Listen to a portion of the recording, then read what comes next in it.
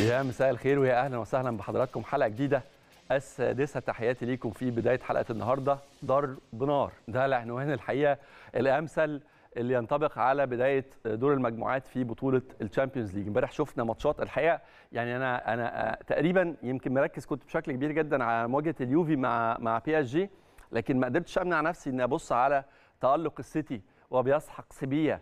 بنتيجة 4-0 وبيكشر عن أنيابه الحقيقة. هالاند يا جماعة حكاية تانية خالص وفي حتة تانية خالص. وأعتقد إنه الورقة أو الكارت اللي كان ناقص في معادلة بيب جوارديولا عشان يحقق لقب ال Champions League حقيقة بداية في تألق في ال Premier League وامبارح بيأكدها بمشاركته مع السيتي في فوز ساحق على إشبيلية بنتيجة 4-0 الريال بيقول أنا موجود وهازارد بيرجع من تاني للصورة. هازارد اللي كان بعيد جدا طبعا يعني واحد من أهم نجوم ال Premier League لكن خلينا نتفق إنه ما ظهرش بالشكل المناسب في عشاق الريال. عارفين ده كويس قوي ما ظهرش بالشكل المناسب لكن امبارح بيرجع مرة تانية والريال يبدو إنه في ظهره. يعني خد بالك إن أنت بتتكلم على واحد من أكبر لعيبة أوروبا في في السبع أو ثمان سنين اللي فاتوا. كان يمكن واحد من أهم الأسماء إن لم يكن أهمها وهو بيلعب في تشيلسي في الدوري الإنجليزي لكن بداية غير موفقة إصابة بعد عن المستوى وما زال وما زال الريال حتى اللحظة متمسك بيه. ويمكن يكون ده الموسم اللي يظهر فيه هازارد بشكل مختلف تحت قيادة أنشيلوتي. النهارده في مواجهات من العيار الناري أنا أرشح لكم طبعا طبعا المصريين هيتابعوا النهارده مواجهة ليفربول مع نابولي. كلنا في ظهر محمد صلاح. اللي الموسم ده بالنسبة له سقف التحديات وسقف الضغوط في أعلى مستوياته. نتمنى إن شاء الله التوفيق لنجمنا محمد صلاح في Champions League وفي ال Premier League هيواجه النهارده فريق مش بالهين على الإطلاق. نابولي الحقيقة بيقدم كورة محترمة جدا رغم إنه افتقد لعدد مش قليل من أهم أوراقه. وعندنا صدام ناري ما بين بايرن ميونخ وما بين إنتر ميلان واحدة برضو من ال clashات الكبيرة اللي بنتابعها النهارده. بس بما إن إحنا هنركز أكتر على ماتش الليفر وماتش نابولي خلينا نقول إن سؤال حلقتنا مرتبط بالمباراة دي ويهمنا نعرف رأيكم في نتيجة النهارده. إيه هي توقعاتكم لمواجهة نابولي وليفربول في دوري الأبطال النهارده الساعة 9 مساء بتوقيت القاهرة؟ وتعالوا نستعرض مع بعض كده إيه ال matchات والمواجهات اللي هتتم في تاني أيام جولات دور المجموعات النهارده. عندنا مواجهتين مبكرتين بداية رينجرز الاسكتلندي في مواجهة اياكس الهولندي مواجهة إلى حد ما متكافئة. الاثنين أبطال في بلادهم وفرق عندها تاريخ وبطولات وعراقة كبيرة جدا فتقدر تقول إنه 50 50 بعد كده سبورتنج لشبونه البرتغالي في مواجهة فرانكفورت الألماني والمواجهتين دول هيبقوا الساعة 7 إلا ربع بتوقيتنا. نيجي لسهرة المساء هتختار إيه ولا إيه؟ البداية مع ليفربول ونابولي. طبعا مواجهة من العيار الثقيل بورتو هيواجه أتلتيكو مدريد. برضو مواجهة أعتقد ممكن يكون فيها كورة على مستوى عالي جدا. بعد كده كلاب بروج وليفركوزن يمكن تكون خارج دايرة الاهتمام شوية. بيلزن وبرشلونه عشاق التيكي تاكا عشاق البارسا طبعا في موعد مع ظهور بال look الجديد تحت قيادة تشافي المدجج. الحقيقة بعدد كبير جدا من نجوم انطلاقة قوية جدا في الليجا. هل هتترجم وتستمر في ال Champions League؟ هنعرف عنوان الجواب النهارده بالليل. ثم المواجهة بين اثنين من عمالقة أوروبا بايرن ميونخ وانتر وخد بالك المواجهة دي في في, ميلانو. وبالتالي يعني يمكن تكون فرصة إن إحنا نشوف مواجهة قوية جدا. والإنتر الحقيقة عنده كرة برضو محترمة جدا. ثم مواجهة برضو ممكن أقدر أقول عليها متكافئة لأنه مارسيليا الحقيقة السنة دي بيقدم شكل كبير يعني شكل كويس جدا محترم مستوى راقي جدا. وخدوا بالكم مارسيليا يا جماعة فريق تقيل فريق من عمالقه أوروبا فريق عنده التاريخ وعنده شخصية البطل. في مواجهة توتنهام الحقيقة اللي برضو بيبتدي الموسم بمنتهى القوة. هتختار إيه؟ أعتقد إنه أغلب المصريين النهارده هيروحوا لنابولي وليفربول. وفي ناس هتقلب وهي بتتفرج تشوف أخبار البايرن مع الإنتر إيه. نروح لعناوين الحلقة النهارده وأهم الأخبار والبداية مع رابطة الأندية. اختيار خمس ممثلين للأندية في الرابطة المحترفة. وصلاح ينافس دي بروين على جائزه جديدة في إنجلترا. رسميا كيروش يعود لتدريب منتخب إيران في المونديال. وعلى عهدة داسان تشيلسي يقترب من مدرب برايتون بعد إقالة توخل هي البطولة كلها ال Premier League يجب أن تدرس. يعني إزاي تحول بطولة مش رقم واحد ومش الأعلى على مستوى جذب النجوم ومش الأعلى على مستوى التسويق لأهم بطولة على سطح الكوكب. أنا بتكلم على مستوى الدوريات. الدوري الإنجليزي حقيقة تجربة تستحق ومن ومن بطولة مليانة عنف ومليانة خروج على النص وخناقات وجرحى وقتلى إلى هذا الكم من الانضباط والمشهد والمتعة الحقيقة.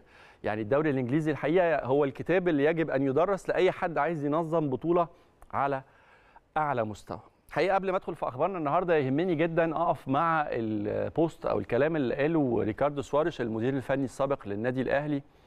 طبعا كلام كتير جدا بعد بعد إنهاء العلاقة بين الأهلي وبين سواريش طلع على الراجل وإنه هيصعد وإنه مش مبسوط وإنه في مشاكل وهو إلى آخره. الراجل امبارح الحقيقة حط بوست على الإنستجرام أو حط تصريح على الإنستجرام اتكلم فيه على النادي الأهلي وعلى الفترة اللي قضاها في النادي الأهلي زي ما حضراتكم شايفين كده وقال نصا إنه لقد كان فخرا كبيرا أنني مثلت أكبر نادي في أفريقيا نادي القرن أحد أشهر الأندية في العالم. واتكلم على إزاي انه حاول هو وفريق العمل اللي موجود اللي كان شغال معاه ان هم يقدموا اقصى ما عندهم. قال يمكن ما نكونش وفقنا في ان إحنا نحقق القاب ونسعد جماهير النادي الاهلي لكن إحنا كنا سعداء بان إحنا بذلنا كل الجهد ان إحنا نأدي مهمتنا وشغلنا بأعلى مستويات الدقة والاحتراف. والحقيقة إنه ما كانش متوقع وهو جاي من أوروبا لافريقيا إنه يشتغل في وسط الكتيبة المحترفة اللي ساندته ودعمته في كل لحظة كان موجود فيها في النادي الأهلي. الموقف ده بينقلني لموقف بيتسو موسيماني. في الفترة اللي قرر فيها مستر بيتسو موسيماني إنه بيتعرض ل يعني لكم من الضغوط مش قادر معاه يكمل مهمته رغم رغبة النادي الأهلي وإحنا اتكلمنا في الموضوع ده مع حضراتكم في استمراره في الوقت ده. وطلع برضو الحقيقة بعد ما تم الاتفاق بين الطرفين بين إدارة الأهلي من ناحية وموسيماني من ناحية على نهاية المشوار والرحلة اتكلم موسيماني بمنتهى الاحترام وشكر كل المسؤولين في النادي الأهلي وشكر جماهير النادي الأهلي واللعيبة. وكان سعيد جدا بالإنجازات اللي اتحققت في الفترة اللي كان موجود فيها كمدير فني. وأعتقد إن أنتم شايفين موسيماني من مدير فني في أفريقيا محدش بيسمع عنه خلال مشواره وخلال رحلته وخلال إنجازاته ونجاحاته اللي بالتأكيد ليه فضل فيها مع النادي الأهلي وصلت سمعته لفين؟ سواء داخل القارة أو حتى بره القارة. اللي هنا اللي يلفت نظري واللي بأكد عليه دايما هي فكرة إزاي تنهي تعاقد أو إزاي تنهي علاقة عمل وأنت بتحافظ على الاحترام المتبادل. دي لغة مش موجودة للأسف بشكل كبير ولكن أتمنى إنها تسود. مش عايز أقارن بين المواقف دي ومواقف تانية حصلت. وشفنا تأثيرها ممكن يكون إيه على الكرة المصرية.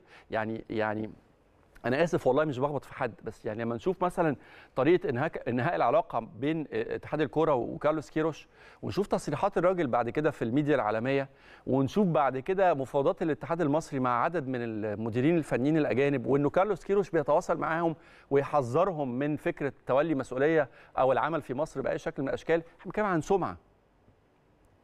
وبالتأكيد ليها تأثيرات سلبية. كان مهم جدا أبتدي بالكلام بتاع سوارش عشان أنفي كل الأكاذيب اللي بتتقال أو الافتراءات اللي بتتقال على لسان الراجل في الأيام الاخيره نروح لأخبارنا النهارده والبداية مع رابطة الأندية في الموسم الجديد بقى. يمكن بعض التقارير الصحفية اتكلمت على إنه تم إغلاق باب الترشيح لممثلي الأندية في رابطة الأندية المحترفة بعد ما تم اختيار خمس ممثلين. هي الرابطة بتضم سبع أعضاء. الأندية بتختار منهم خمسة واتحاد الكره بيبقى ليه عضوين بيمثلوه. ويمكن التقارير قالت إنه أندية الاتحاد والإسماعيلي وغزل المحلة معاهم سموحة فاركو سيراميكا أسوان بنك أهلي بيراميدز فيوتشر ومعاهم المقاولين اختاروا أحمد دياب رئيس الرابطة في الموسم الأخير كممثل ليهم. الأهلي اختار عماد متعب الزمالك اختار خالد رفعت المصري شريف صلاح وطلائع الجيش وحرس حدود اختاروا اللواء إيهاب شعبان. من المفترض بعد كده إنه هيتم الإعلان عن أسماء ممثلي اتحاد الكرة اللي هيكونوا موجودين في رابطة الأندية واللي تعقد يوم الخميس إن شاء الله بكرة إن شاء الله أول اجتماعاتها عشان تبتدي عملها. كل التوفيق ليهم. أعتقد إنه ليهم. يعني لازم نقول في أول تجربة أعتقد إنه اجمالا التجربة كانت ناجحة. يمكن كان في حاجات خارجة عن إرادة أو عن عن سيطرة رابطة الأندية ممكن ما تكونش مسؤول عنها بشكل مباشر لكن أنا متأكد إنه لابد إن يكون في تقييم. شوف إيجابيات الموسم اللي فات اللي بشوف الحقيقة إنه كان في تطور بشكل كبير جدا في المسابقة عابها حاجتين وهم يمكن يكونوا شوية مش تحت السيطرة الكاملة لرابطة الأندية يتداخل فيها اتحاد الكورة الحكام أو التحكيم وأملنا كبير في مارك كلاتنبرج وطبعا الجزء الخاص آه، تنظيم المسابقة وجداول الماتشات وإلى آخره وامتداد المواسم وأعتقد إنه من بداية الموسم ده كان في وعود كبيرة جدا ان المسابقة هتكون منضبطة وإن إحنا هنرجع مرة تانية نمشي في السياق العالمي لرياضة كرة القدم. نروح لنجمنا محمد صلاح. أنا قلت لكم الحقيقة إنه الموسم ده بداياته على الرغم من طبعا يمكن يعني فكرة التجديد لليفربول آه، إلى حد كبير شالت كل أنواع التوتر اللي كانت موجودة على العلاقة أو في العلاقة بين الليفر وبين صلاح. لكن الموسم ده بداياته أعتقد إنه في نوع تاني من الضغوط وخصوصا مع وجود داروين نونيز ومع وجود إيرلينج هالاند ومع رحيل ساديو ماني. المعادلة شوية اختلفت بالنسبة لصلاح وأعتقد إنه ما عنديش شك في قدراته وما عنديش شك إنه إن شاء الله بإذن الله هينافس لكن البدايات بالنسبة له صعبة. خلينا نقول إنه محمد صلاح مرشح لجائزة جديدة كأفضل لاعب في الدوري الإنجليزي في الموسم الأخير 21 22 الجائزة دي بيقدمها اتحاد شمال غرب إنجلترا كرة القدم وصلاح كان فاز بالجائزة موسم 2021 آه، متفوقا على آه، روبن دياس طبعا مدافع السيتي ومدافع البرتغال الدولي. ولوك شو الظهير الأيسر للمان يونايتد. السنة دي بيتنافس صلاح مع واحد من نجوم المستوى الأول كيفن دي بروين بشوفه يمكن مش بش هو مش من مش من أفضل. هو هو بالفعل أعتقد أفضل لاعب وسط في آه، العالم. بيتنافس معاه كمان كريستيانو رونالدو. بيتنافس معاه جوردن بيكفورد ده حارس إيفرتون وجوش براون هيلد وده لاعب بيلعب في بيرنلي. والخمس أسماء دول بيتنافسوا على الجائزه الخاصة بالموسم الأخير. توخل آه، الحقيقة يمكن كان مفاجأة امبارح. يعني طبعا هزيمة غير متوقعة واحدة من ال matchات المفاجأة. بشوف إنه آه، آه، matchين امبارح الحقيقة ما كانوش متوقعين بشكل كبير نتيجتهم. يعني شختار في مواجهة لايبزيج score تقيل قوي نتيجة مش متوقعة. لكن خسارة خسارة خسارة تشيلسي امبارح هي أكبر مفاجآت اليوم. ويمكن تم الإعلان عن إنه إدارة تشيلسي خدت قرار بالفعل. بإقالة توماس توخل مش عايزين حد بقى يقول توماس توخل على رادار الأهلي وتوماس توخل بيفاوض الأهلي. ما شفتش في لحظة من اللحظات كمية الجري دي. يعني هم بيجروا وانتوا بتجروا وراهم. هم بيجروا وانتوا بتجروا وراهم. على كل الاحوال أنا عارف طبعا جماهير الأهلي مشغولة جدا بقصة المدير الفني الجديد اللي هيتولى مسؤولية النادي الأهلي لكن خلاص هي أعتقد يعني مسألة ساعات ويتم الإعلان عن اسم المدير الفني آه، الجديد. يمكن آه، وبمناسبة الكلام عن كيروش من شوية يمكن عودة مرة ثانية يمكن محمد جماعة المتحدث الإعلامي الاتحاد الإيراني لكرة القدم أعلن النهارده إنه كارلوس كيروش المدرب البرتغالي هيتولى قيادة منتخب إيران في مونديال قطر 2022 واتكلم الحقيقة على إنه آه، عودة كيروش مرة ثانية وهو كان ليه سابقة طبعا وتاهل مع قبل كده مع مع منتخب إيران في كأس العالم شارك معاهم قبل كده في كأس العالم. في في الفترة من 2011 ل 2019 تولى مسؤولية منتخب إيران ووصل معاهم لمونديال البرازيل 2014 وحاليا طبعا المنتخب الإيراني آه، هيشارك في بطولة 2022 موجود في المجموعة الثانية معاهم منتخبات من العيار الثقيل إنجلترا طبعا في مقدمتهم ويلز. ما تقدرش تقول منتخب كبير لكنه منتخب مش بالهين. الولايات المتحدة الأمريكية برضو معاهم في المجموعة وده لقاء هيستناه العالم كله طبعا على خلفية طبعا يعني المعارك السياسية. طيب خلينا نروح لفاصل وعندنا كلام كتير على ماتشات امبارح وعندنا كلام كتير على إقالة توماس توخل والمدير الفني الجديد المتوقع اللي معظم التقارير بتتكلم على إن هو آه، جراهام بوتر آه، المدير الفني آه، لفريق برايتون. هنتكلم عن ده وهنتكلم على ماتشات النهارده بالتفصيل الحقيقة في فقرة العالمي بس خلونا نروح لفاصل ونرجع لحضراتكم. طيب هنروح مع حضراتكم دلوقتي لجولة مع لاعبينا المحترفين في الخارج. نشوف الأسبوع ده بالنسبة لهم كان أخباره إيه؟ تقييم عام كده قبل ما ندخل في الأرقام والتفاصيل. يبدو إن الموسم لسه ما ابتداش قوي. يعني يعني باستثناء يمكن تريزيجيه اللي منور ومصطفى محمد أعتقد إنه حتى صلاح يمكن لسه الموسم بالنسبة له ما دخلش في أرقام بقى ومنافسات وإحراز اهداف والى آخره. بس تعالوا نروح لجولة سريعة نشوف أخبار محترفينا في الخارج ونبتدي معاكم ال GPS ال GPS هنبتدي من ليفربول من إنجلترا. والبداية مع مو محمد صلاح. ضغوط كبيرة جدا بتعرض لها محمد صلاح. داروين نونيز يمكن لسه ما انسجمش رحيل ساديو ماني. وخدوا بالكم آه كان في منافسة بين ساديو ماني وصلاح لكن كان في برضه هارموني وكان في انسجام وكان في تفاهم كبير بين صلاح وماني لغاية لما ده يحصل مع لويس دياز أو جوتا أو نونيز أكيد هتاخد وقت وأكيد هتأثر على محمد صلاح. محمد صلاح لعب الماتش ده آه، الأسبوع ده ليفربول في مواجهة إيفرتون. ديربي الميرسي سايد مباراة انتهت بالتعادل السلبي طبعا وصلاح يمكن ضيع فرصة في في الرمق الأخير يعني زي ما بيقولوا من عمر المباراة كانت كفيلة بتحقيق الفوز وثلاث نقاط شارك لمدة 90 دقيقة كان ليه ثلاث محاولات على المرمى 17 تمريرة بنسبة دقه 65% الكي باسز ثلاثة ثلاث تمريرات مفتاحية الكرات الطولية اثنين بنسبة دقه 100% الالتحامات الأرضية تسعة نجح في ثلاثة خسارة الكرة 15 مرة والمراوغات اثنين نجح في واحدة منهم بنسبة نجاح 50% وحاليا ليفربول بيترنح في المركز السابع برصيد تسع نقاط. والسنة دي عندنا منافسة شرسة. أنا بقول لكم اليونايتد داخل الأرسنال داخل السيتي أكيد طبعا داخل ومعاهم طبعا ليفربول. وتوتنهام مش بعيد. تشيلسي بعيد شوية. نسيب ليفربول.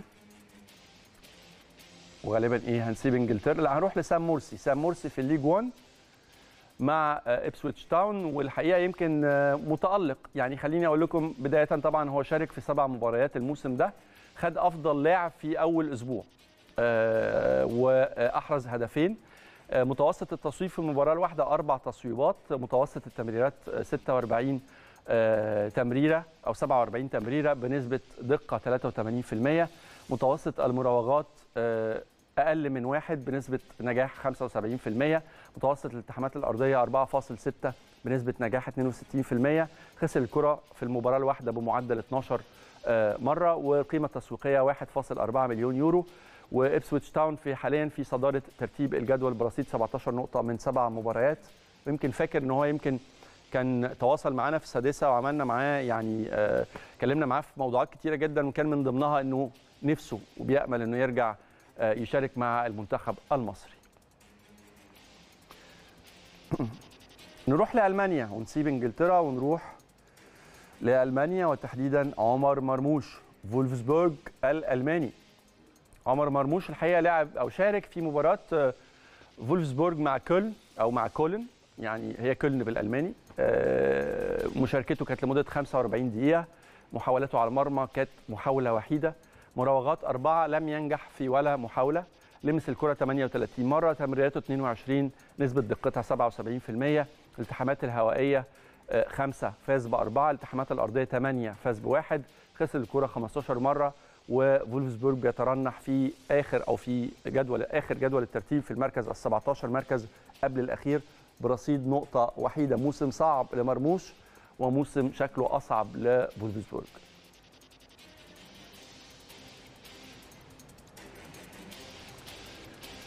فرنسا. نونت. مصطفى محمد وبداية ولا أروع. الحقيقة يمكن يعني بداية لا ترتبط بأي شكل من الأشكال بالمردود ولا المستوى اللي قدمه في جلاتا سراي في تركيا مع الاعتبار إنه الدوري الفرنسي من وجهة نظري أقوى بكتير من الدوري التركي. لعب الحقيقة في مواجهة باريس سان جيرمان باريس سان جيرمان السنة دي يا جماعة غير. أنا شفت الماتش امبارح الثلاثي نيمار إمبابي ميسي. حاجة فيراتي فيراتي قصة ثانية وخلينا نرجع لمصطفى محمد مرة ثانية شارك في مواجهة باريس سان جيرمان المواجهة دي انتهت بخسارة نونت بنتيجة 3-0 شارك في الماتش ده 10 دقائق كبديل.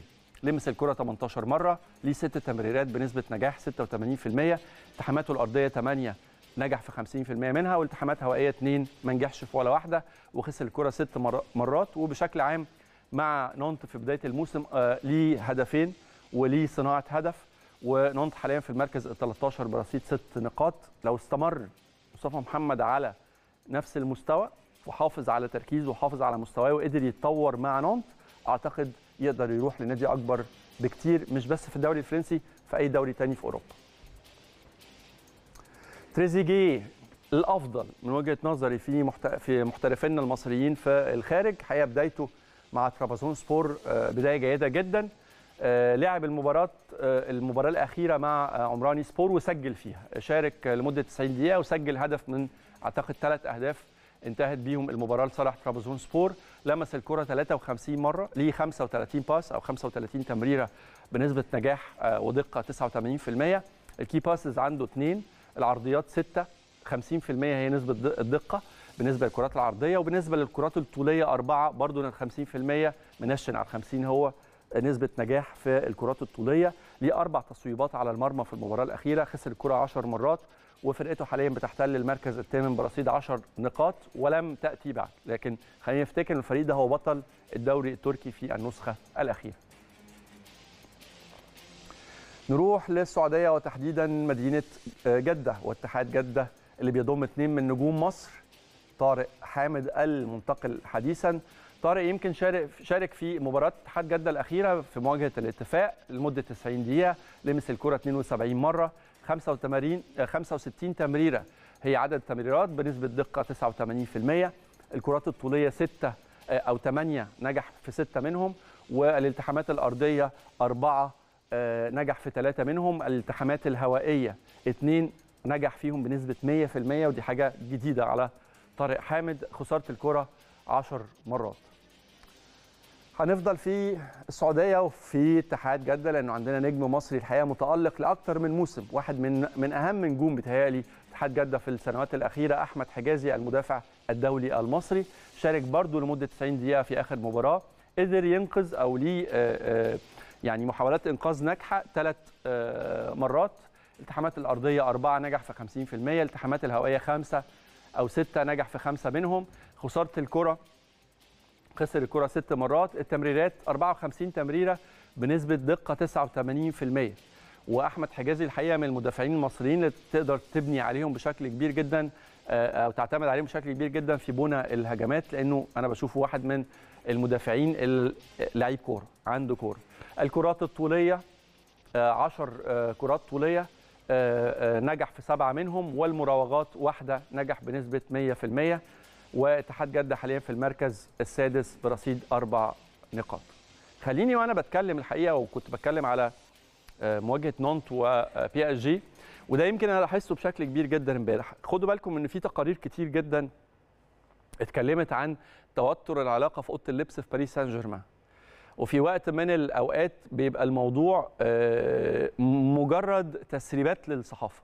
طبعا في قيادة فنية السنة دي بقيادة كريستوف جالتيه مش مدرب من الصفوة مش مش مش ال ranking بتاعه والتصنيف بتاعه ما تقدرش تحطه في خانة أنشيلوتي في خانة زيدان في خانة جوارديولا في خانة كونتي أو توخل أو أو يورجن كلوب.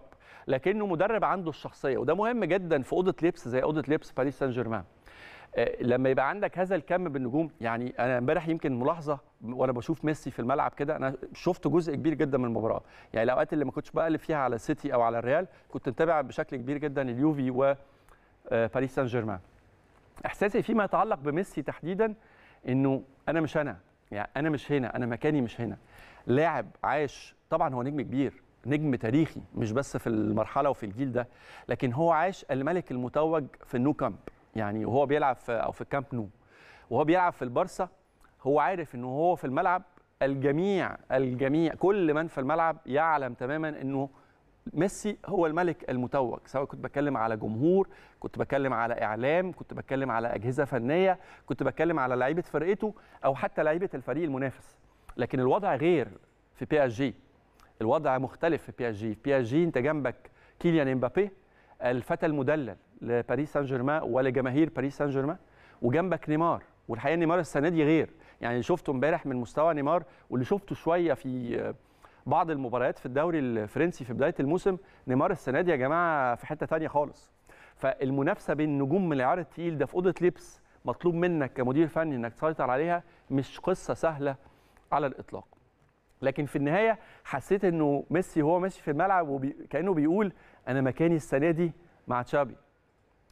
في كامب نو أنا موجود مع ليفاندوفسكي ومع رافينيا ومع كوندي ومع ومع الكتيبة الجديدة اللي بتمثل برشلونة. هناك ممكن أرجع لمكاني ومكانتي الطبيعية لأنه ميسي اللي شفناه مش ميسي اللي كنا نعرفه قبل كده. على كل الاحوال هنتكلم أكتر على ماتشات امبارح والمواجهات المنتظرة النهارده. خليكم معانا وتابعونا في السادسة بس هتسمحوا لنا نروح لفاصل سريع ونرجع نقابل حضراتكم. الأرقام دي بالنسبة لي أنا صادمة. يعني إحنا بنتكلم بس على على 20 20 2021 داخلين في 2.7 من 10 مليار دولار من بطولة واحدة بس. لازم أسمع تعليق طبعا من ضيوفي اللي بيشرفوني في السادسة النهارده أو النقاد الرياضيين المتميزين والمتألقين أستاذ محسن لملوم. مساء الخير يا أستاذ محسن. واهلا وسهلا بيك. وبيشرفنا لأول مرة أستاذ خالد عامر. أهلا بيك يا أستاذ خالد.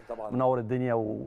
وسعداء بوجودك. اولا سعيد إن أنا بعد غياب طويل جدا برجع لقناة النادي الأهلي. تشرفنا. ضيافتك طبعا تشرفنا. من المذيعين المتميزين جدا شكرا جدا. جزيلا. طبعا في بصحبة الصديق العزيز الأستاذ محسن لملوم هنستمتع بيكم وهنستمتع الحقيقة بوجبة كروية يعني رائعة بدأت امبارح والنهاردة طبعا هنتابع الجزء الثاني بس اسمحوا لنا كمان ينضم لنا كمان ماجنس هيدمان واحد من الحراس المرمى اللي لعبوا الحقيقة لسلتك الاسكتلندي لعبوا لتشيلسي الإنجليزي وكان طبعا حارس مرمى دولي في منتخب السويد. هينضم لنا من خلال تقنية ال video conference نتكلم معاه الحقيقة. يمكن يوم كان سيء جدا بالنسبة له سواء سلتك الحقيقة اللي خسر من ريال مدريد أو تشيلسي في مفاجأة من العيار الثقيل الحقيقة خسر برضو وتوابع هذه الخسارة وإقالة توماس توخل والبحث عن مدير فني جديد.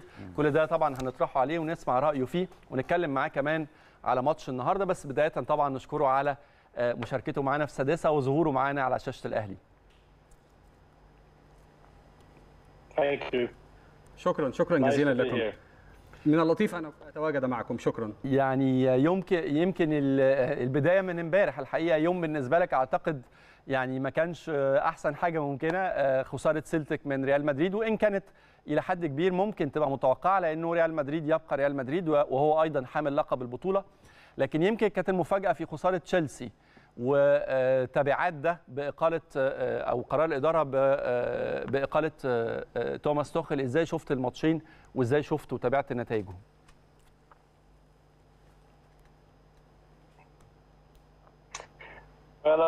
um, حسنا عندما uh, شاهدت مباراة uh, آه،. سلتك وريال مدريد في الشوط الأول اعتقدت. أن سلتك لعب جيدا وأحرج ريال مدريد في بداية المباراة ولكن في النصف الثاني ريال مدريد أظهر مستوى حقيقيا للبطل أوروبا سلتك 60,000 و... ورغم ذلك هو هو معظم المشجعين الإسكتلنديين يساندوه ولكن النتيجة كانت مفاجئة لهم بالنسبة لتشيلسي كان الأمر. كان الأمر آه، هو استكمالا لل- للصدمات التي يتلقاها من أول الموسم الأمر مفاجئ بالأمس ولكن كان محتمل الحدوث. النتيجة كانت مفاجئة أن أن تفقد بعدها المدير. الفني هذه كانت صدمة كبيرة لتشيلسي من وجهة نظرك هل بتتفق أو تختلف مع فكرة أن يتحمل توماس توخل المدير الفني وحده المسؤولية ولا بترى إنه في أسباب يعني مختلفة أو أسباب أخرى مرتبطة بتراجع المستوى وتراجع النتائج مش بس عشان خسارة امبارح من دينامو زاغرب لكن كمان حتى ده شفناه وتابعناه في انطلاقة بطولة ال Premier League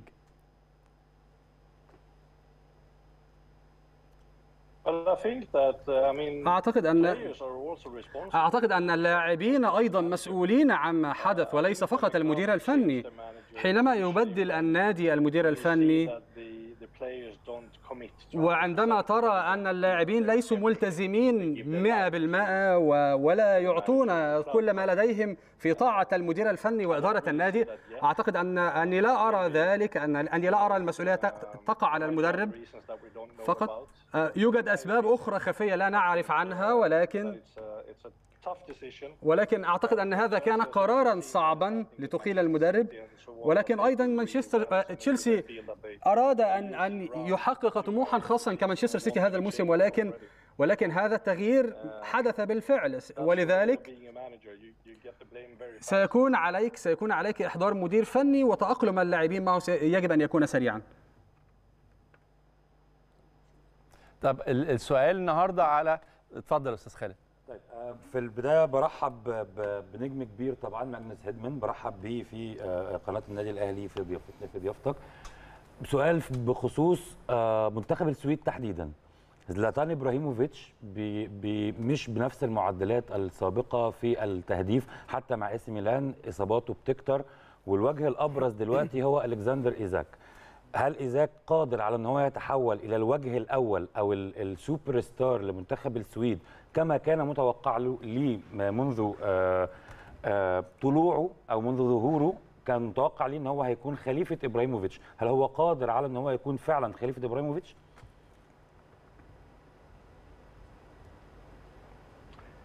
Um. شكرا جزيلا في البداية على ترحيب بي Um, لا أعتقد أن إبراهيموفيتش هو فريد من نوعه. أعتقد أنه لا يوجد أحد شب- يشبه إبراهيموفيتش في السويد. أنا أنا أحب إبراهيموفيتش منذ زمن وأعتقد أن ال- الوضع بالنسبة لأيزك مميز. ولكن. ولكن لا تسئ فهمي آه، ايزاك لا زال صغيرا لا يمكن تشبيهه بزلاتان لا الأمر صعب. لا أتوقع ذلك. أعتقد ان أتوقع أتوقع مستويات عالية لآيزاك ولكن الأمر صعب ان أن تقارن بينه وبين ابراهيموفيتش لا أعتقد ذلك لا. بمناسبة الكلام عن ايزك يعني كان في بعض تقارير اتكلمت على اهتمام عدد كبير من الأندية آه، بانتدابه أو بشرائه وانتقال لصفوفهم وأندية كبيرة على المستوى الأوروبي مش بس في في ال Premier League لكن آه، انتقل في النهاية أو صفقة انت- انتقاله في النهاية آه، راحت لنيوكاسل يونايتد. هل شايف إن دي بداية أفضل بالنسبة له من إنه يبدأ مع نادي كبير؟ وإزاي شايف دوره كمان مع المنتخب السويدي في الفترة اللي جاية؟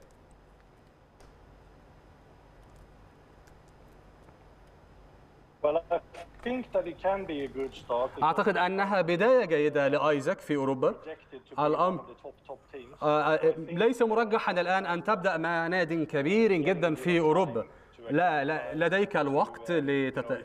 لتتأقلم. إذا تع- تعرف إذا ذهبت مباشرة لريال مدريد في خضم هذه ال- المسابقة القوية سيكون الأمر صعبا. ولكن أعتقد أن هذا امرا جيدا أن تنافس مع ناد كنيوكاسل. هو هو يجب عليه أن يتأقلم مع ال- المناخ هناك ويلقى الدعم بالفعل لينجح. أعتقد أن نيوكاسل يمكن أن يكون يمكن أن يكون بداية جيدة لايزاك وبالنسبة لمستقبله مع المنتخب السويدي آيزاك يؤدي مباريات جميلة أح... مستويات كبيرة أحرز اهدافا جميلة. هو لديه بصمات رائعة على على ملعب المباراة وأعتقد. أعتقد سيكون نجما كبيرا في تاريخ السويد لسنوات كثيرة هذا ما أعتقد وأعتقد أن بالنسبة للسويد.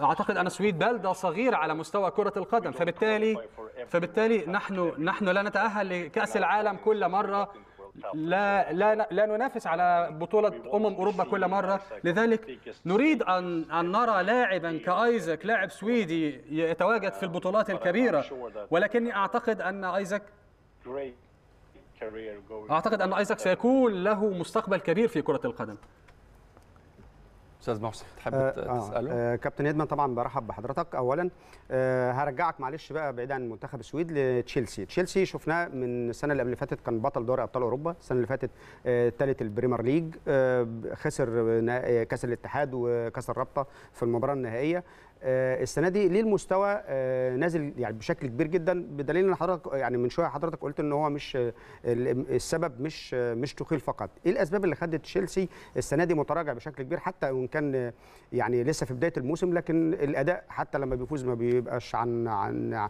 عن قناعة بي- بيخسر هزايم كبيرة. ال- الفريق مستواه متذبذب بدءا من حارس المرمى لحد آه، خط الهجوم.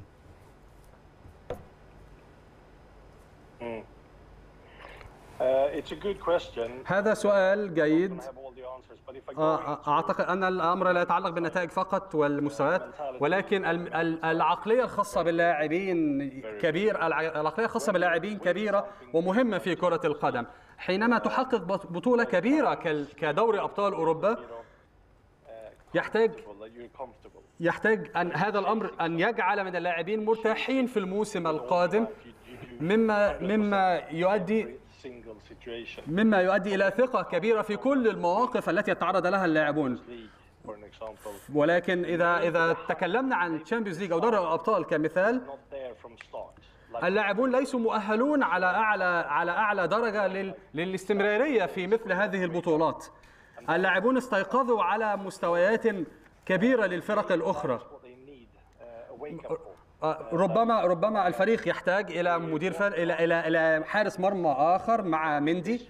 أعتقد أن هذا العام كان كان استثنائيا. يجب على الفريق أن أن ينهض. اللاعبون يجب عليهم أن يكونوا أكثر احترافية.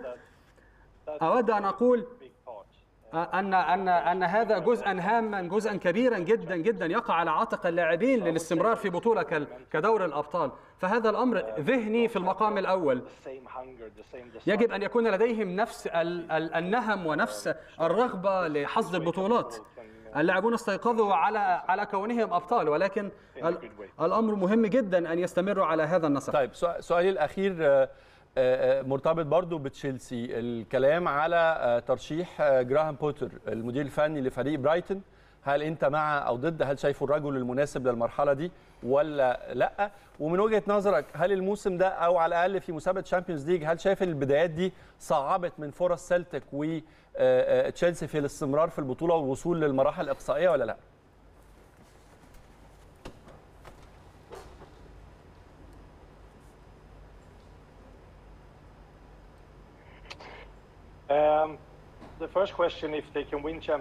أعتقد أس- أنا ردي على سؤال خاص بال Champions League أعتقد أن الامر الأمر لا زال لا زال في البداية في مرحلة المجموعات. آه، لديك لديك آه، أكثر من شهر للتأهل لربع النهائي. الأمر. يمكن ان يمكن لأي شيء أن يحدث في بطولة دوري الأبطال أوروبا. آه، لكن أعتقد بالفعل هم يستطيعون الفوز. الأمر لا زال طويلا. وبالنسبه uh, بالنسبة للمدربين لا أعت- لا لا أعرف. uh, آه، آه، نتكلم عن بوتر نتكلم. نتكلم عن مدير فني كبير ونتكلم. فدعنا نرى. أعتقد أن ايا كان المرشح لقيادة تشيلسي لقياده تشيلسي يجب أن يكون مدربا مخضرما مدربا آه، لديه الكثير من الخبرات. سيكون هذا أفضل سيكون هذا أفضل للمدير الفني الجديد بتشيلسي. ماجنوس هيدمان طبعا حارس سلتك وتشيلسي ومنتخب السويد السابق. سعدنا بوجودك جدا ومشاركتك معنا في السادسة. كل الشكر وكل التوفيق طبعا للكرة السودانيه أنا واحد من عشاق السلطان ابرا الحقيقة بشوفه راس حربة قلامة. صعب جدا إنه يتكرر على مدار التاريخ مرة ثانية ومرة ثانية طبعا أرحب بضيوفي واخش في الموضوع. يلا. ماتشات امبارح. البداية مين كشر عن أنيابه؟ أستاذ محسن. لا الماتشات امبارح ما كانش فيها مفاجأة باستثناء طبعا تشيلسي. أيوة. لكن الماتشات واقعية جدا الريال كسب بره آه، شختار بثلاثيه ما عملش مفاجأة امبارح؟ يعني مش هقدر أقول مفاجأة قوي يعني. آه. لكن ميلان لما يتعادل على مع- أرضه. المجموعة دي هي اللي كان فيها آه. ال- شوية المفاجآت تشيلسي يتغلب ومغلوب من الدور آه، من من الشوط الأولاني. يعني آه. لا كمان من الشوط الأولاني يعني. عندك فرصة, فرصة تقدر تعا- آه. ما كانش فيه خالص. ميلان برضو كان متأخر وقدر يتعادل لكن هي المجموعة كده شوية بتتعقرب يعني.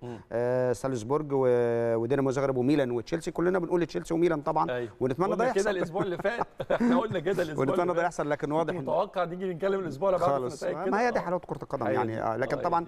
الجماعة الكبار دول اللي هم مع يعني إيه سواء بقى آه مانشستر سيتي آه فوزوا على إشبيلية ده طبعا, طبعا. متوقع يعني آه طبعا وعندهم.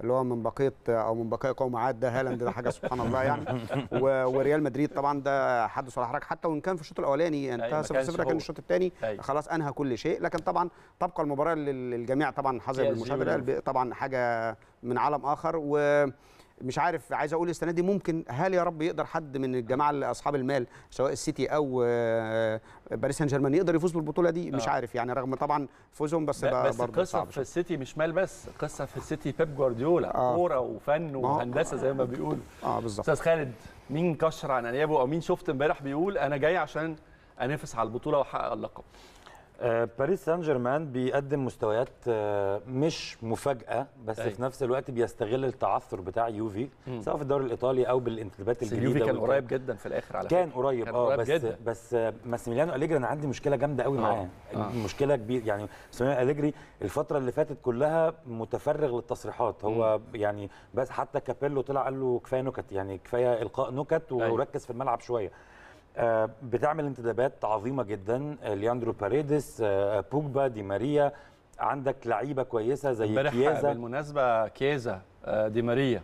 بوجبا تشيزني الأربعة مش موجودين. مش موجودين. آه. مش موجودين في التشكيل برضو. عشان بتتكلم على. قوة ضربة. يعني أكيد. الاربعه دول لو موجودين ممكن يوفي كان يبقى ليه شكل تاني. بس هي الفكرة حتى في الدوري لما انخيل دي ماريا كان بيلعب لعب أول ماتش وبعدين اتصاب لما حتى لعب انخيل دي ماريا ما حسيتش إنه- آه يعني هو فارق عن الباقي. بس خط يعني توظيفه في الملعب مش هو. مش قوي لأنه ماسيميليانو أليجري هو ماسيميليانو أليجري عامل زي آه زي أنشيلوتي.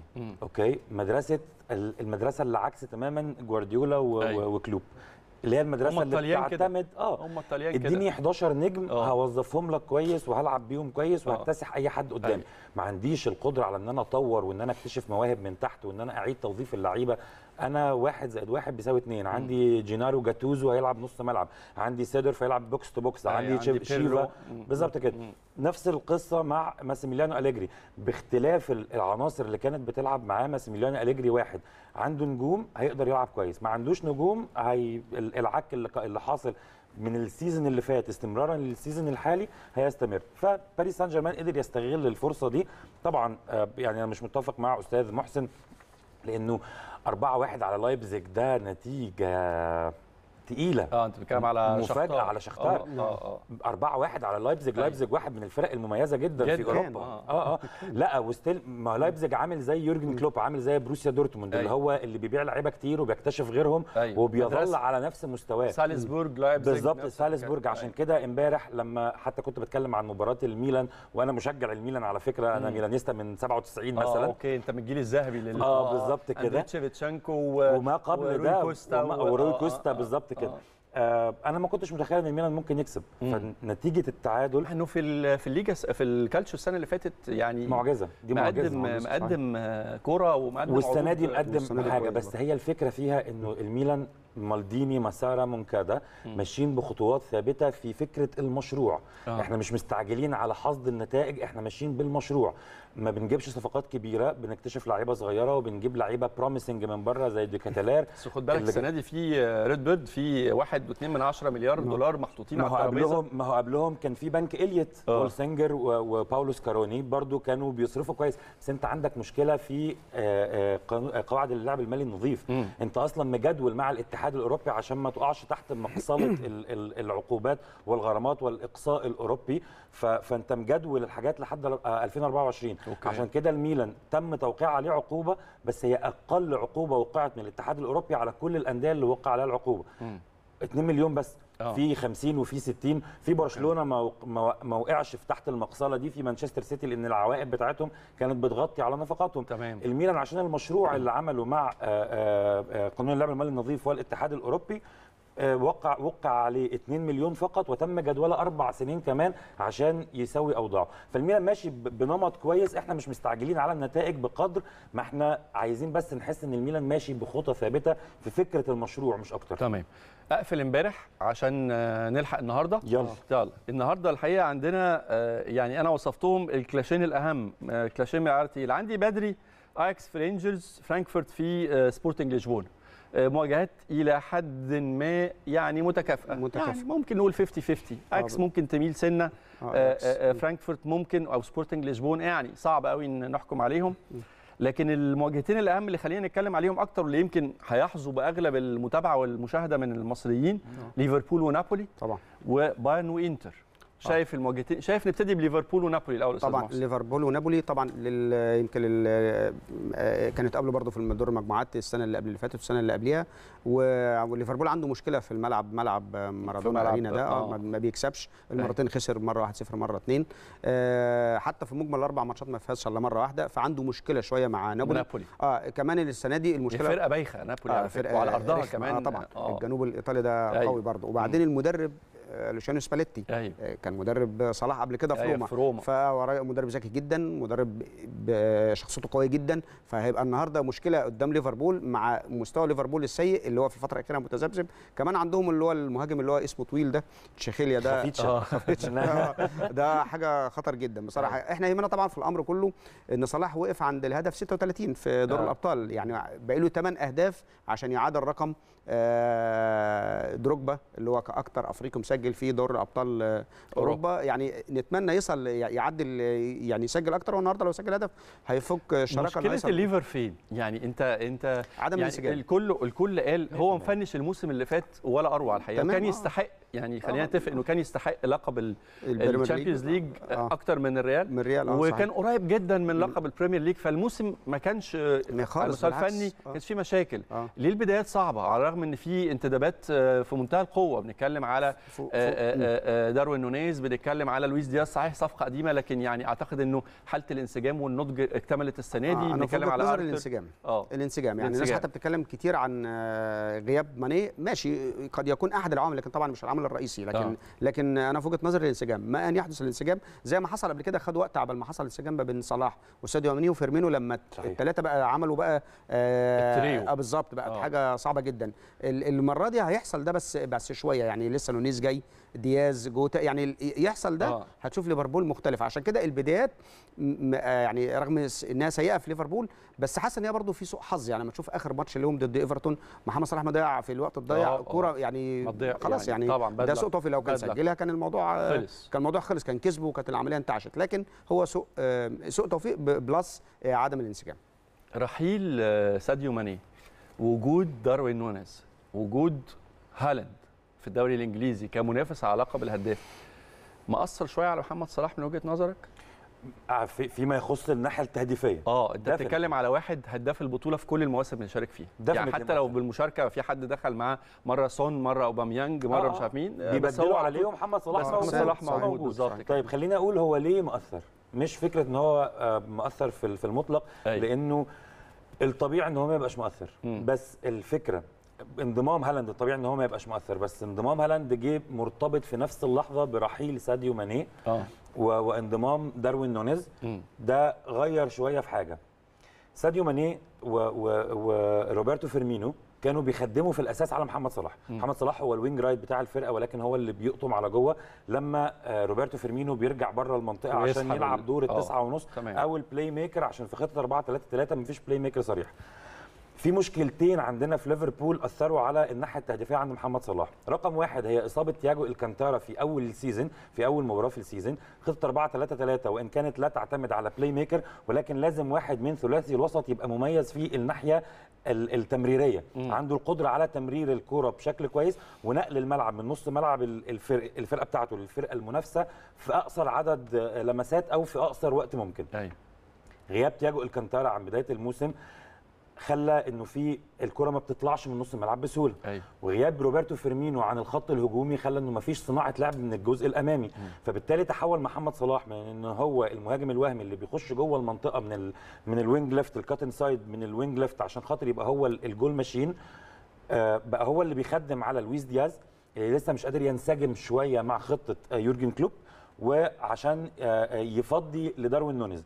ليه يفضي لداروين نونيز؟ داروين نونيز عكس آه، روبرتو فيرمينو. روبرتو فيرمينو بينزل تحت بيبقى تسعة ونص أو مهاجم محطة أيوة. أو إن هو بيصنع اللعب.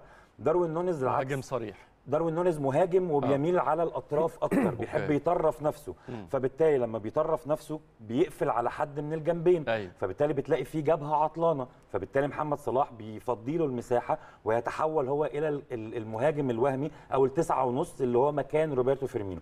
فده بالتالي محمد صلاح أكتر لاعب مساهم ب key passes في الدوري الإنجليزي الموسم ده في عدد ماتشات قليل جدا ب 21 key pass ده لو لو لو دل على شيء فيدل على تغير الدور دور بتاع محمد محمد صلاح صلاح. اللي بيقوم بيه في الملعب. بس كده. هيحلوها إزاي؟ وتوقعاتكم إيه لمواجهة نابولي النهارده؟ خلينا نسمع رأيكم وردكم بس اسمحوا لنا نروح لفاصل. ونرجع نكمل كلامنا. هنستعرض معاكم بسرعة جدا ومع ضيوفنا طبعا ماتشات النهارده. زي ما قلت لكم اياكس ورينجرز وفرانكفورت وسبورتنج لشبونة آه، سبعة الا ربع بتوقيتنا طبعا الكلام ده. بعد كده في تسعة التاسعة آه، بالليل هيبقى في عندي نابولي في مواجهة ليفربول أتلتيكو مدريد في مواجهة بورتو. آه، كلوب بروج في مواجهه ليفركوزن برشلونة في مواجهة آه، بيلزن آه، إنتر في مواجهة بايرن وتوتنهام في مواجهة مارسيليا الفرنسي. هتتابع إيه النهارده يا أستاذ محسن؟ أكيد ليفربول رقم واحد بس ليفربول. هنقلب على الإنتر على الإنتر والبايرن. وال- يعني دي آه. مواجهة لا تقل طبعا. بيقول لك آه، إنتر النهارده رايح يشيل إيه؟ لا هو ده يعني ده هو مش رايح ده ده البايرن اللي جاي له. البايرن اللي جاي له آه. جوزيبي آه، مياتسا بس الاثنين ما آه. أنا أنا يعني أنا فيها مشكلة كده إن أنا دايما قلبي بيبقى مع الكرة الإيطالية ايا ما كان مين اللي بيلعب. تمام. فأنا يعني نابولي المرة دي معلش هخون قلبي شوية عشان خاطر محمد صلاح. ابتديت تشوف كورة في التسعينات؟ آه بالظبط. آه تسعينات. آه، أصل فأنا- الطلياني ده إيطالي- إيطالي- آه، تسعينات. آه. وحضرت العصر الذهبي بتاع آه، ميلان آه، و- وتتويجنا ب 2003 و2007 آه. وتتويجنا بالدوري الإيطالي 2004 و2011 فيعني عاصرت فترة للميلان كده مش قادر مش قادر أتخلى عنها مش قادر أتخلى عن حبي لل- للمنتخب زي ما الإيطالي حصل مع اليونايتد برضو مع أليكس فيرجسون في فترة من. الفترات في إنجلترا كان كان هو س- يعني ال- الملك المتوج يعني بالدليل بعد ما 100%. مشي الدنيا ضايعة يعني. هو يعني كان كان ليفربول معديه وبعدين هو قدر يعدي. ليفربول ويوصل ل 20 دوري كان. ليفربول كده عند ما- 18 وقال لهم شكرا جاش تاني. حصلوني بقى بس وبعدين جاي نتكلم. السنة دي المان يونايتد لسه كنا بنتكلم بقول كان نفسي أشوف نسخة تن هاج في في Champions League السنة دي أعتقد بعد يعني بعد التظبيط اللي حصل ده أول مرة تحس إن التظبيطة جت صح وسبحان الله بعد. ما يعني أول أسبوعين تحس إن يونايتد هيهبط مثلا آه، من آه. النتيجة مغلوب اتنين على ارضه وبيطلع بره يتغلب من برنتفورد 4-0 أيوة. في أول نص ساعة مش في المباراة كلها مباراة من طرف واحد دخيا بيغلط الدنيا ضايعة خالص. تحس إن هم ضايعين. إيه، سبحان الله الماتش الثالثه كله كان متوقع مع الانهيار ده إن ليفربول هو اللي يكسب. أيوة. وخصوصا الماتش دي على نفس الملعب من كذا شهر ليفربول كسب خمسة مع الرأفة. آه. 5-0 مع الرأفة. المرة دي لا ده هو اليونايتد هو اللي كسب 2-1 قدر يستعيد الثقة وقلنا ممكن تكون استغل ظروف آه، ليفربول السيئة في فترة كده لكن هو اكتسح بصراحة. وجه مع الأرسنال برضو نفس و- الحكاية. آه بصراحة أوقف يعني كان عنوان المباراة دي من يوقف الآخر لأن أيوة. آه، ده طالع اليونايتد ال- اس- آه، أرسنال أرسنال ما كانش آه بالظبط ما كانش خسر خالص والتاني كان بعد الهز- الهزيمتين ما فقدش نقطة آه. فهو أثبت إن هو فريق قوي وبصراحة ده حلو للكرة الإنجليزية لأن ده الدرب الأساسي يعني قصدي ده. عنصر أساسي التانيين شوية بقى أندية المال بتاع حاجات زي كده آه. لكن الأساس بتاعهم موجود يعني مانشستر يونايتد كان غيابه بصراحة بي بي بي يعني كان موجود بالاسم بس يعني أيوة. ال big 6 ال big 5 ال big 4 موجود بالاسم آه. لكن هو بعيد تماما لكن على الرغم عودته انه إنه النادي الأغنى على مستوى إنجلترا ويمكن على مستوى العالم على واحد مستوى من. أج من أكبر الأندية صحيح. من ناحية القدرة الاقتصادية والحقيقة الناس ما ما استخسرتش يعني إحنا شفنا صفقات على مدار 10 سنين ولا 12 سنة اتصرف عليها مبالغ طائلة ولكن آه. في وع- و- وعدد كبير جدا من. المديرين الفنيين والنجوم والنجوم جم ومحدش. فيهم قدر يعمل حاجة بس السنة دي أنا مراهن على أنتوني آه، بصراحة. أنا أنا عندي رد فيما يخص الموضوع ده لأن أنا من ضمن أسباب إعجابي بمانشستر يونايتد السنة دي هو الصرف الذكي اللي صرفوه. هم صرفوا كتير جدا ما عنديش أيوة. مشكلة ده جايبين أنتوني لوحده ب 95 مليون أيوة. فما عنديش مشكلة في الصرف. أنا عندي مشكلة في إن أنت تصرف على ماجواير 85 مليون. أيوة. وهو يعني أقل مدافع في أقل دوري في العالم يلعب عليه أساسي. السنة دي مانشستر يونايتد والجليزرز اللي هم ملاك النادي صرفوا بذكاء. ليه صرفوا بذكاء؟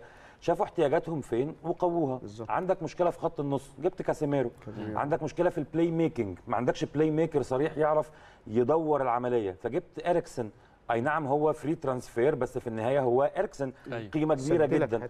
بالظبط كده سد لك الحتة دي ويبقى هو rotation كويس مع برونو فرنانديز عندك مشكلة في ال wing right فجبت آه آه أنتوني واحد من أميز اللعيبة أو أكتر اللعيبه ال- ال- ال- ال scouters كانوا بيتكلموا عليها في المواسم اللي فاتت أنتوني نزل من الطيارة لعب ماتش أرسنال جاب جون. وكان صح. واحد من أحسن اللعيبة اللي في. الملعب واللي اتفرج على الماتش يقول لك ده من ناشئين مانشستر يونايتد بيلعب بقلبه بجرينتا مش صحيح. طبيعي يعني صحيح.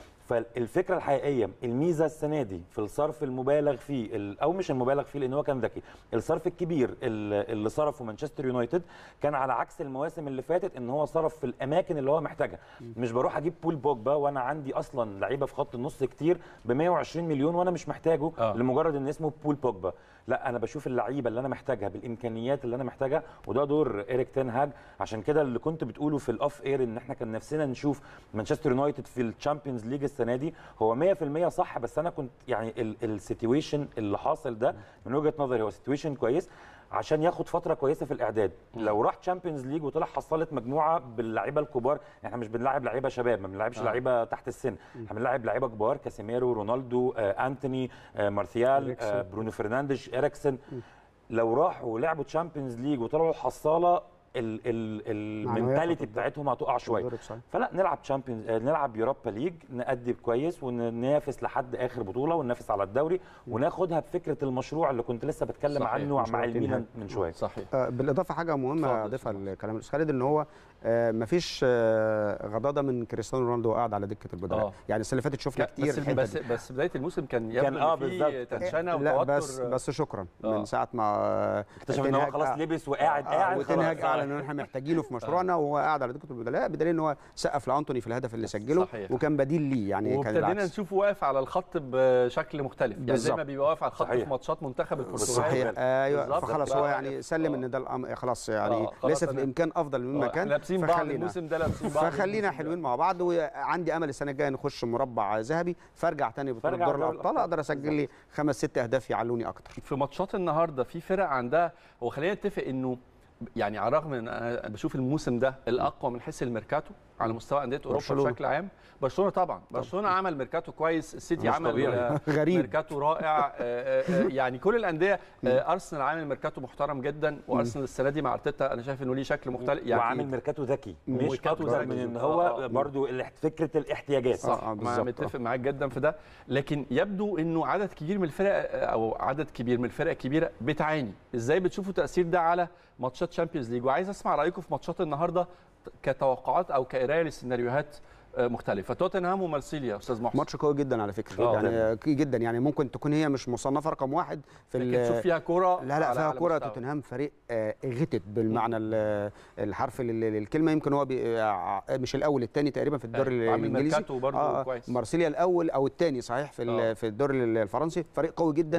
النادي. الفرنسي الوحيد اللي حصل على دوري أبطال أوروبا, أوروبا. فدي برضو آه، برضو بتديله التاريخ برضو بيديله. بيديله في الملعب. عشان كده ماتش مهم جدا. ممكن ما يكونش حد واخد باله منها طبعا في وجود بقى ليفر ونابولي آه، إنتر بايرن وبايرن برشلونة وما أعرفش آه، آه، مين آه، بيلزن لكن الماتش ده مهم الماتش ده قوي جدا يعني. حظنا سيء إن الماتشات دي كلها في وقت واحد لكن الماتش ده لو لوحده يعني يتشاف حتى على ماتشات أخرى بصراحة يعني. أنا على فكرة تاكيدا على كلام أستاذ محسن أنا توتنهام كانت الفرقة الأولى اللي عايز ال season يبدأ عشان أتفرج عليها عشان الانتدابات.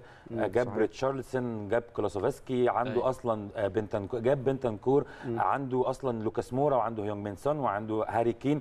جاب عدد من الانتدابات ال- العظيمة جدا. فأنا كنت عارف عايز ال season يبدأ بقى عشان عايز أتفرج على توتنهام في المقابل أو إيه؟ بالظبط آه. كده. فأنا متوقع إنه آه أكيد ماتش هيبقى كويس بس متوقع إنه توتنهام هو اللي يكون ليه الغلبة يعني. وتوتنهام ولا مارسيليا من وجهة نظر أستاذ لا؟ توتنهام طبعا. توتنهام طبعا. آه، آه، بايرن والإنتر. بايرن خالد. أعلن عن بايرن آه، هو لا هو بايرن إنتر أتوقع بايرن لا لا هو هو هو يتميل شوية للتعادل لكن ال- المباراة في في, في. في مياتزا أنا فاهم لكن هي تميل شوية تميل قليلا للإنتر إذا أراد إن هو يصالح جماهيره بعد آه. شوية العثرات اللي ال- عنده. الإنتر ال- الموسم الأخير أنا ما شفتلوش حاجة السنة دي آه، لكن الموسم الأخير شفت ماتش نهائي الكأس اللي كان بينه وبين آه، يوفنتوس. فرقة بتلعب كورة بصراحة فكرني بالإنتر بتاع زمان بتاع بتاع أدريانو وريكوبا و و و, و صحيح. و- و يعني ونجوم وزانيتي و- وكامبياسو. وستانكوفيتش آه، هم كان- استحقوا الدوري الإيطالي السنة اللي قبل اللي فاتت لكن السنة اللي فاتت فاتت، طبعا يستحق الميلان يعني حتى أيوة. كان هو بيطاردوا آه، القط والفار لحد آخر ماتش أو لحد تقريبا نقطتين آه، على ما أتذكر السنة اللي فاتت ولا اللي قبلها اللي فات آه، اللي فات. الميلان خد بفرق بسيط وفيرون ده اللي كنت اسمي آه، اللي كان فيرون. آه. لكن هو. السنة دي عنده آه، الإنتر تحس ان عنده مشاكل في الدفاع يعني حتى المباراة الأخيرة آه، ديربي الغضب مع ميلان هو اللي تقدم على على على الميلان وفي النهاية الميلان عمل عليه رومونتادا ليس. بهدف ولا ولا باثنين لكن بثلاثه وقدر يحسم المباراة اللي اللي صعبها على فكرة السنة عملناها السنة اللي فاتت برضه برضه كان متقدم علينا وكسبناه اثنين برضه برشلونة وفيلزن برشلونة طبعا. مواجهة تبدو محسومة مقدما. وبرشلونة السنة دي برضه طبعاً، طبعاً. أعتقد مرشح لمنافسة أكيد، يعني ولا. بنبالغ لما نقول آه، آه، لا لا لا مش إنه- بنبالغ مش آه، بنبالغ ليفاندوفسكي مع ب- بقية المجموعة لا لا واضح رافينيا برضه رافينيا لا لا واضح إن هم أصل الدوري الأسباني يعني مش قادر تحكم عليه قوي لأن هو آه، بصراحة فرقتين ريال. مدريد وبرشلونة وأتلتيكو. بعدهم بشويه وفي الآخر عليهم في دوري الأبطال ده آه، دوري. مصري يعني أنا للأسف بحس إن هو آه بس برضه لسه ما أقدرش احكم عليهم في في, في مواجهة بيلزن لا، ولا في. بيلزن. بالظبط ولا لا، لا، لا، في المواجهتين. التانيين بقى آه.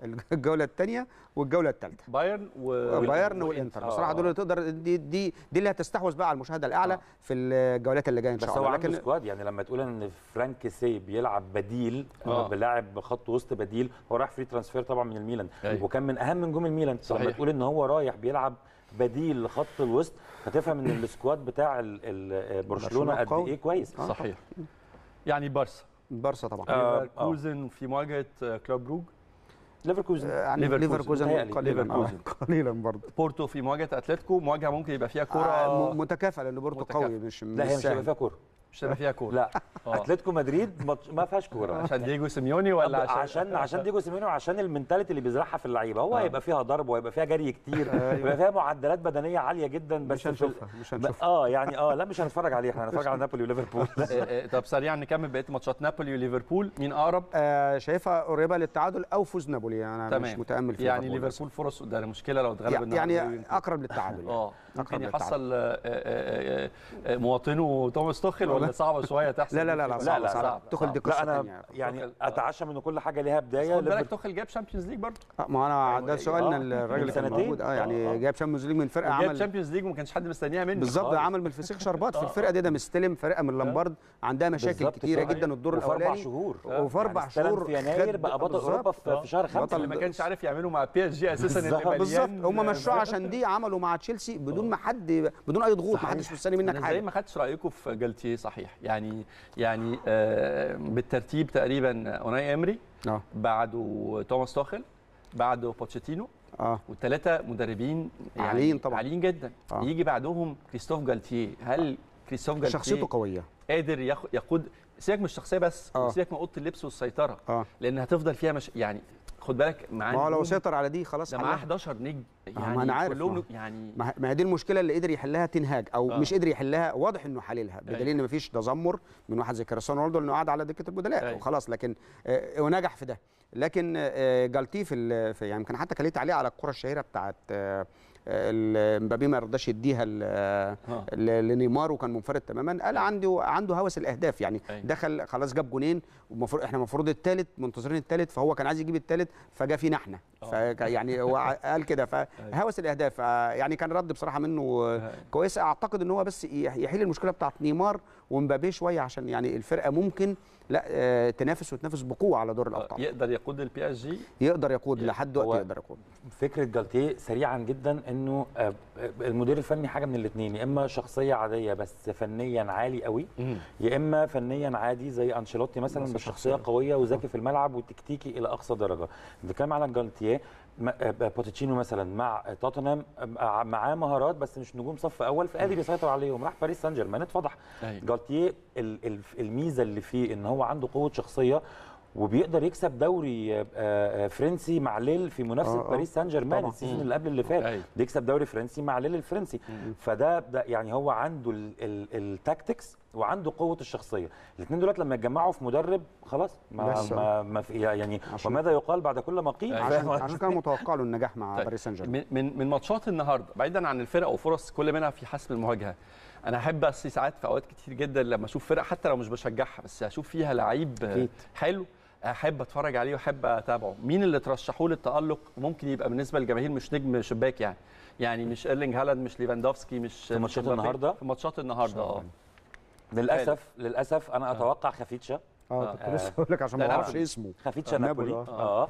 أنا يعني كل حاجة ليها بداية. ليفربول بيعاني مع مع دييجو أرماندو مارادونا stadium بس أيوة. كل حاجة ليها بداية. فإن شاء الله النهارده محمد صلاح وليفربول يقدروا يقدروا يكسبوا الماتش. يحلوا ده. بس أنا متوقع تألق غير طبيعي من خفيتشا لأن هو لعيب مميز جدا جدا جدا. وجمهوره جداً. شرس على ملعبه. وجمهور آه، جدا. ما شرس جدا. جمهور نابولي على ملعبهم مش مش طبيعيين. طبيعي. ومن وجهة نظر أستاذ محسن. هي نفس القصة. أنا هم لما آه. تبص للأسماء أنتوا ما فيش متفقين حد. على ال- آه على لا خالص والله. لا ما اتفقناش بس إحنا متفقين في الرأي بس ما اتفقناش. قبل. الرأي آه آه أنا برضو لازم أقول إنه برشلونة النهارده متوقع إنه الثلاث ارباع لعيبته ليفا طبعا متوقع إن هو يتألق رافينا متألق متوقع إن هو يتألق لأن هم عندهم ال quality اللي يسمح لهم والمنافس فرصة لاستعراض مش قد كده. العضلات أيوة. النهاردة. عندهم فرصة إن هو يستعرض يكشر عن أنيابه آه فرصة. لاستعراض عضلاته والضحيه بيلزن إن شاء الله نقدر نقول من ال من ال من ماتشات امبارح والماتشات اللي هتتلعب النهارده البدايات تؤدي للنهايات ولا من الممكن إنه واحدة من الفرق دي آه، تكون مفاجأة. أو على الأقل خلينا نقول حصان أسود. يعني امبارح شفنا دورتموند الحقيقة لعب آه، ماتش كويس جدا. أعتقد آه، امبارح آه، جود بيلينغهام سجل. الولد ده أنا بقول يعني مش هيكمل مش هيكمل في دورتموند. هو بالمناسبة هو أصغر لاعب يلعب في تاريخ كأس العالم مع منتخب إنجلترا. آه في مين تتوقع يكون حصان أسود للبطولة؟ يعني مش لازم يفوز أو يحقق اللقب لكن على الأقل شايفينه ممكن يبقى مقدم شكل مختلف.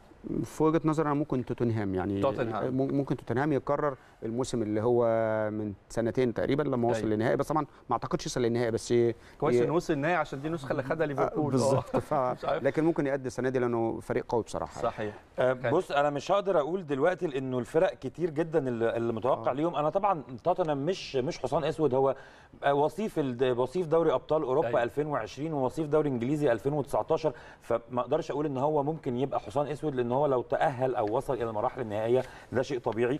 بس يعني في فرق كتير جدا ممكن أقول فرانكفورت ممكن آه ميلان ممكن يبقى حصان أسود مش نظرا لتاريخ ميلان ولا ولكن نظرا لوضع ميلان الحالي. أيوة. فالتأهل ميلان أو وصوله إلى الأدوار اللي بعد كده ده في حد ذاته ممكن يكون مفاجأة. فميلان ممكن يكون حصان أسود. آه لايبزيج طبعا مرشح كالعادة إن هو يبقى حصان أسود. لا عدد كبير دورتموند ممكن يوصل. في عدد كبير قوي فيعني إحنا محتاجين بس نعدي آه. جولتين ثلاثة كده آه. وبعدين نبدأ نتكلم. إحنا مش. عايزين يعدوا لأنه إحنا بنستمتع بصراحة. 100% وهي- 100% وهي دعوة للاستمتاع. كرنفال كروي صحيح. اختار منه الوجبة اللي تناسب ذوقك. والنهارده أعتقد إن المصريين عشان صلاح بيلعب أغلبهم هيتابع آه، آه، ليفر ونابولي. كل التوفيق لنجمنا المصري. إن شاء الله ليفربول يقدر وقادر على إنه يستعيد توازنه. أعتقد إن عودة تياجو ألكانتارا هترجع كتير من من ديناميكية وتنظيم ليفر في الملعب. لكن إن شاء الله الأهم بالنسبة لنا إنه صلاح والليفر يعدوا النهارده من موقعة نابولي. وبعد كده لكل لكل مقام مقال. نورتونا النهارده في السادسة واستمتعنا بيكم. بشكركم. شكرا جزيلا. أستاذ محسن لملوم وأستاذ خالد عامر. وإن شاء الله بإذن الله لقاءات تتكرر. استمتعنا. بيكم. وان شاء الله نشوفكم قريب في السادسة مرة ثانية بشكر حضراتكم على المتابعة واستمتعوا بوجبة كروية ممتعة ودسمه النهارده. وعلى كل خير نتقابل إن شاء الله مع بداية الأسبوع اللي جاي. تحياتي لكم